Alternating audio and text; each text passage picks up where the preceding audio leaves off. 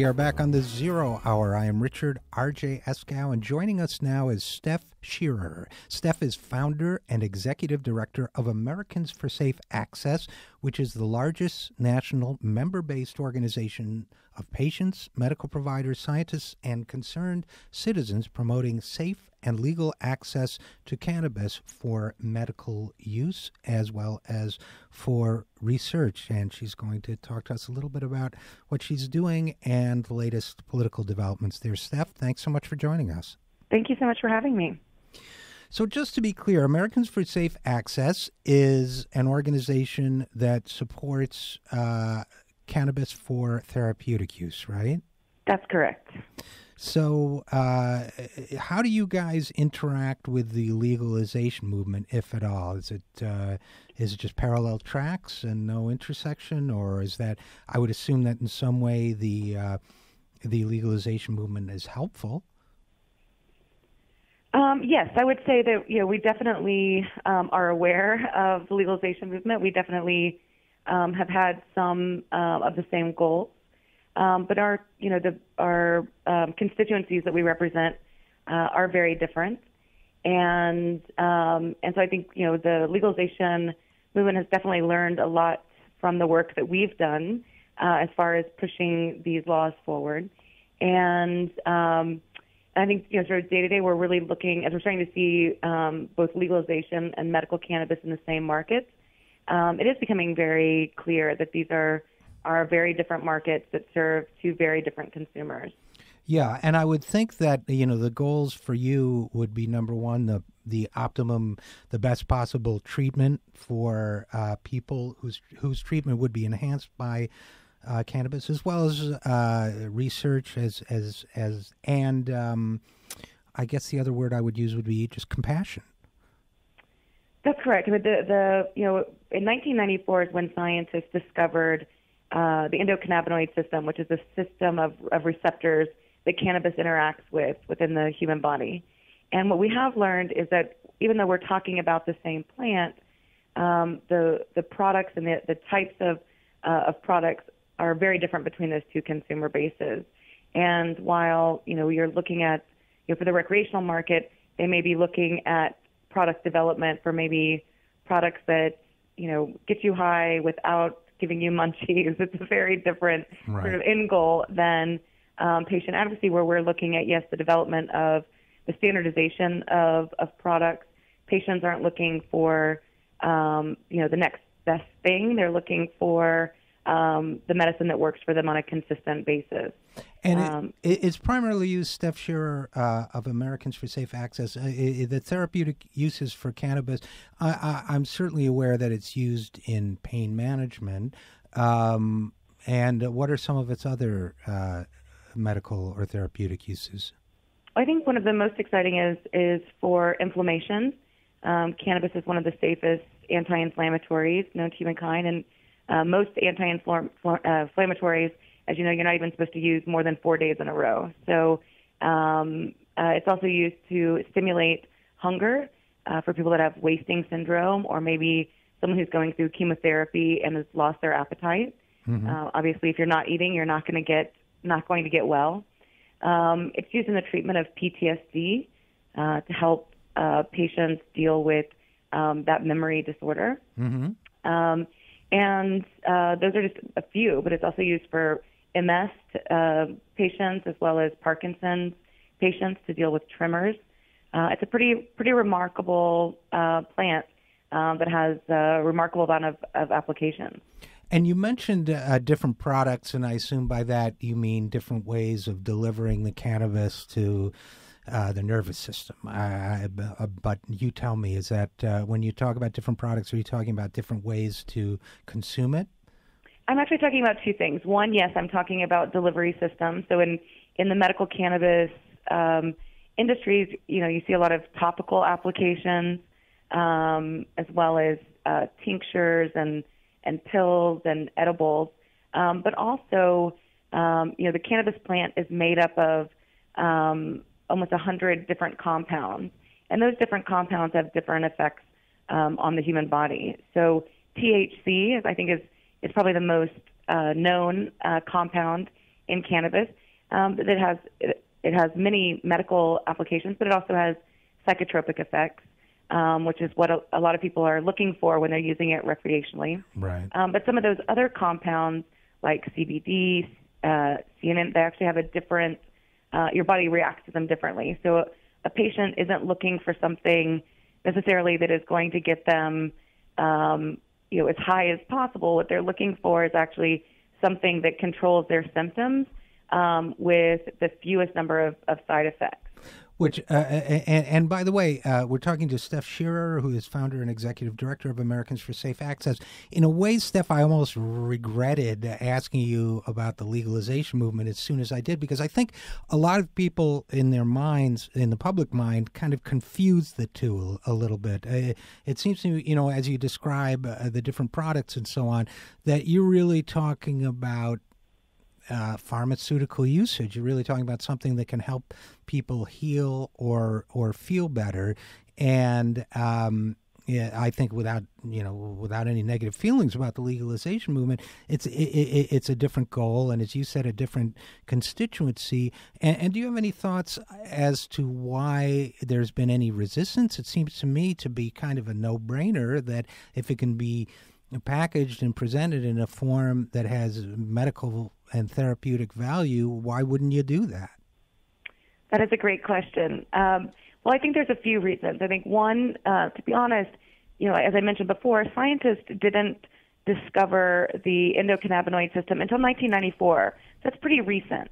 So even though we had, you know, thousands and thousands of, of anecdotal accounts of people using cannabis in a therapeutic setting and feeling better, uh, it wasn't until we really understood the system that we could see what was happening in the body that they weren't just feeling better, but they were actually um, getting better, right? So, so that's a, a major factor. There's also some, you know, some sort of basic scientific uh, requirements like creating a cannabis monograph, uh, which is a, you know, is an academic uh, report that allows scientists and um, and farmers to be able to talk about uh, the plant as an agricultural product, to be able to really identify uh, what pesticides, if anything, can be used. Um, you know what what to expect when you're actually testing cannabis uh, for the potency. So I think that that you know yes, there's definitely been a uh, a cultural war in the United States um, against cannabis in general. But I think when you really sort of you know peel back the the reefer madness, so to speak, there was really a lot of work that we had to do um, to integrate this medicine into society. And you know, as uh, you mentioned, this is sort of a, a pharmaceutical application, and the truth is, it's it's actually somewhere between a nutraceutical and a pharmaceutical, mm-hmm. meaning that you know most um, most uh, prescription drugs that you take are, come from single compound substances. And while there is, you know, other countries really look towards herbal medicines, which are multi-compound substances. Um, the U.S. is a little is a little behind in in looking at herbal medicines and more personalized medicine. Um, but cannabis falls in that category, right? That you're not there isn't one pill uh, made from cannabis that everybody can take and have the same effect.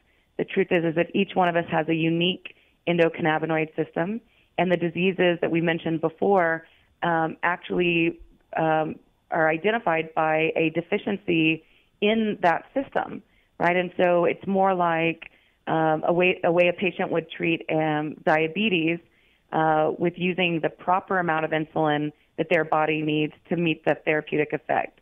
So for cannabis, you know, for for patients who have uh, MS or are suffering from cancer, um, you know, the their dosage is really unique um, to their to their body. So, so, all, so, yeah. so, we're talking with Steph Sherer of the Americans for Safe Access Group. So it's also a matter of training provide medical providers, I would assume, as to how to help people uh, find that appropriate balance. That's right. You know, as as a patient advocate, what's been very, uh, you know, I, I founded ASA 13 years ago, and um, and I am a medical cannabis patient. That's what in, inspired me to start the organization. Um, and while I had some political uh, training uh, before I started the organization, um, you know, I really had to to create an organization that was an expert not only in passing state laws um, you know, drafting and, and passing federal laws, but also looking at, um, you know, creating a whole scientific board to help us uh, with the cannabis monograph. Um, you know, working with people within the herbal products world to help us create good manufacturing processes um, for the substance, but also, you know, working with doctors and universities to create education for medical professionals in how to, um, you know, incorporate cannabis into their into their patients' uh, therapies. Interesting. And now you mentioned federal legislation. In March, three senators, Cory Booker of New Jersey, uh, Rand Paul of Kentucky, and Senator Gillibrand of New York, introduced the CARERS Act. That's C A R E R S, the CARERS Act. What is that for folks who don't know? Sure. The CARES Act, it stands for the Compassionate Access, Research Expansion, and Respect States Act. It's a mouthful because it really is a bill that, that is taking a comprehensive approach of both resolving the conflict between state and federal law, but also um, allowing medical cannabis programs to move forward in their states.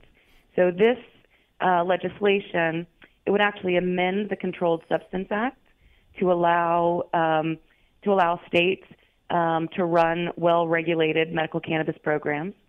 It would reschedule marijuana from uh, Schedule One classification, which which means that it is um, highly addictive, it's a dangerous drug, and has no medical value, um, hmm. to Schedule Two, um, which simply it, it still means that it, it could be it has potential for abuse, um, but it does recognize the medical value um, it would um, actually create a space so that veterans, um, that their doctors in the VA system could recommend cannabis. Uh, right now, um, our veterans who could benefit from cannabis therapies actually have to go outside the VA system um, to, to see new doctors um, instead of staying within their current regimen of care. So this bill would, would change that issue. It would actually create more opportunities for um, cannabis to be grown for research and for those products to be developed uh, for research, which takes down some of those barriers. And then finally, it actually um, uh, changes the way that, that marijuana is classified as it refers to banking issues. So right now, even though I'm sure many of your listeners have heard reports uh, about the $4 billion medical cannabis industry across this country, right now those businesses have a, have a real challenge um, finding banks that will work with them because of the classification of marijuana. So this bill really is a is a comprehensive approach um, so that we can take the experience of now 40 states and the District of Columbia and and move forward um, out of a, a, a, a paradigm that is a conflict to really moving cannabis into uh, regulated systems. And in case people aren't convinced yet, maybe it will help for them to know that the New York Times editorial board ran uh, an ed- editorial in support of this bill and entitled it A Sensible Bill on Medical Marijuana. So, uh, what's the current status of the CARERS Act? It's got, what, 15 total co sponsors now, something like that? That's right, and it's and the next step would actually be for us to get a hearing in its committee, um, and then if it if it's voted out of committee, then it would go um, to the floor to be voted on. And we're feeling um, pretty confident that if we can get it on the floor, um, that we could pass it. And, and really, the challenge is is getting that hearing and, and passing it through committee. Um, but what's been great about this process, I have to say, is that you know this is this is uh, our first bill in the Senate. Um, so for, over the years, we've introduced lots of bills in the House. Uh, but now that we have this piece of legislation, it gives us an opportunity to meet with senators and really have a much more concrete conversation about this issue. I think before we had legislation in the Senate, many of the Senate offices we met with were like, "Well, when when we have a bill, we'll talk." Um, and so we've seen actually, you know, really long long term opponents to medical cannabis, uh, like Dianne Feinstein out of California, uh, Senator uh, Grassley out of Iowa have actually we've seen them move a little bit on this issue, um, and so I I think that right now if if um, if your listeners, which I'm assuming a lot of them are supportive of medical cannabis, we uh, support for medical cannabis is consistently polled at about 80% support nationwide. Um, you know, for the 13 years I've been working on this. But for those listeners, this is really the time that we can move out of um, out of um, theories about moving forward with medical cannabis um, and really ask our legislators to move forward and do something concrete. Well, where can people go to find out more about the work you're doing in this area? People can go to our website, which is safeaccessnow.org, and that's safeaccessnow.org, and you can sign up, and we'll give you, we'll send you alerts. Uh, we'll make sure um, that you know um, who to talk to as far as your representatives go, and and give you some talking points to help you with those conversations. But oh. if we had just a just one percent of the people that supported us um, call their elected officials, I'm I'm positive that we can pass this legislation and start 2016 in a time of uh, of implementation and and remove ourselves from this long long exhausting conflict between state and federal law. Okay, well, uh, thanks for coming on the program. Thanks for your good work in this area. Uh, in this area, Steph Sherer is the founder and executive director of Americans for Safe Access. Thanks for joining us, Steph. Thank you for having me. Have a great day.